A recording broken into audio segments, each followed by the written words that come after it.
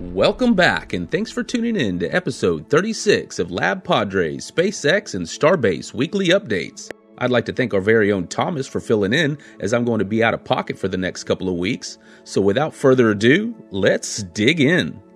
Thank you, Lab. This is Thomas, and welcome to another packed week at Starbase, Texas, and Cape Canaveral, Florida. As the Starship continues towards launch operations, ironworkers have begun adding new tabs for mounting exterior cladding to the launch tower. Production on new ship likewise continues to move quickly. In the Friday twilight, the downcomer for Ship 26's methane tank was installed. On Saturday, Doug returned to Port Canaveral with fairing halves from NORL 44, the first Falcon Heavy launch in three years. Fabrication work is nearing completion on a new booster transport stand at Sanchez, with the vehicle alignment pins being put into place. Work crews began adding boom extensions to one of the Grove cranes, indicating that high altitude lifts will be taking place soon. Later in the day, Bob returned to Port Canaveral with the fairing hats from Hotbird 13G launch. At the Starship launch site, the Raptor maintenance platform was lowered from under the orbital launch mount. The Raptor maintenance platform was lifted back into place under the mount an hour later. Late Sunday evening, Bob departed Port Canaveral to support Galaxy 31 and 32 launch, taking a wide path away from Hurricane Nicole. A full stack methane tank cryo test was conducted on Monday as crews continue to advance the test program toward an all engine static fire of Booster 7. The test battery included a ship quick disconnect attachment from Ship 24 while it was venting propellant gases. The test battery wrapped up early in the afternoon with Ship 24 and Booster 7 depressurizing together. In the evening, a novel gas venting event could be seen under Booster 7. SpaceX's fire suppression system was not in use. About 45 minutes later, the FireX suppression systems designed to prevent flammable gas buildup were tested on the orbital launch mount. Ship 25 conducted a cryogenic load test on suborbital Stand A through Monday afternoon. Stand A's puckshucker is designed to simulate the engine flight loads with hydraulic rams to verify the ship's structures. A bit of shuffling took place with SpaceX's Port Canaveral fleet. After unloading its fairings, Doug departed for parts unknown. The Crosby skipper returned to port with just read the instructions and B 1067 from the Hotbird 13G mission soon after.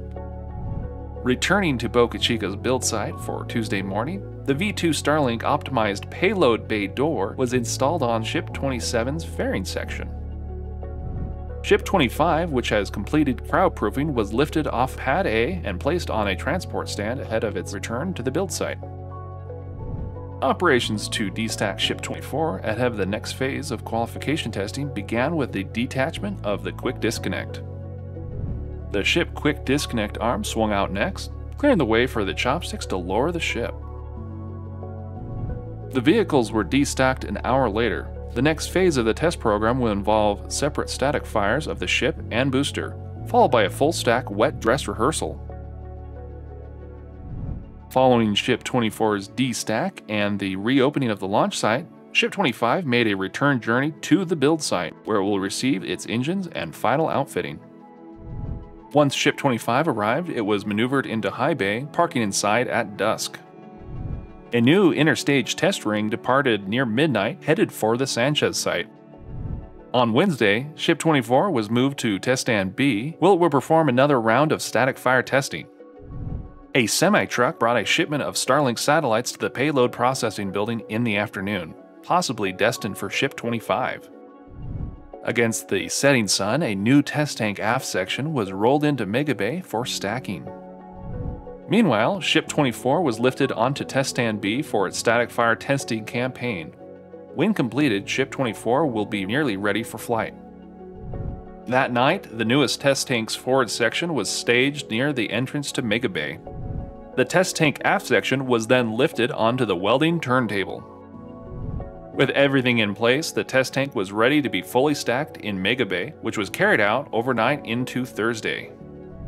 Booster 7 testing preparations began at the launch site with raising of the chopsticks, which keeps them clear from the rocket exhaust and debris. The first system to be tested on Booster 7 was the four grid fins, which were sequentially actuated before returning to their resting positions.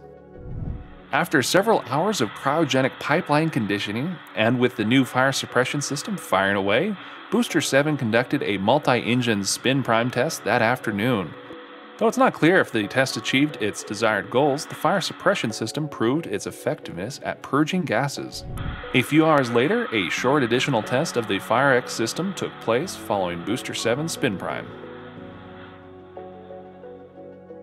And there it is, another weekly update of Starbase Texas and Cape Canaveral, Florida, brought to you by Lab Padre. Thanks again for watching, and we'll see you again next week.